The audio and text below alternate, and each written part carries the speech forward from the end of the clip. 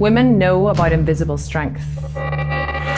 For years, it wasn't good for a woman to show she was strong. Women were meant to be the supporting characters in the movie of life.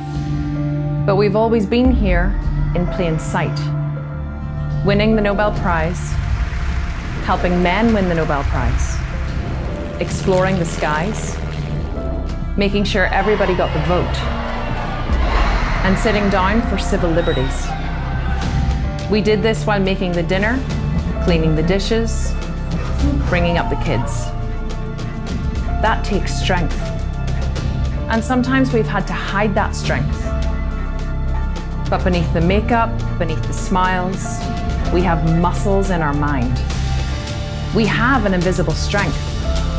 And woman, if you think you haven't got it, you're wrong. You have. Build on it. It's time to see your invisible strength.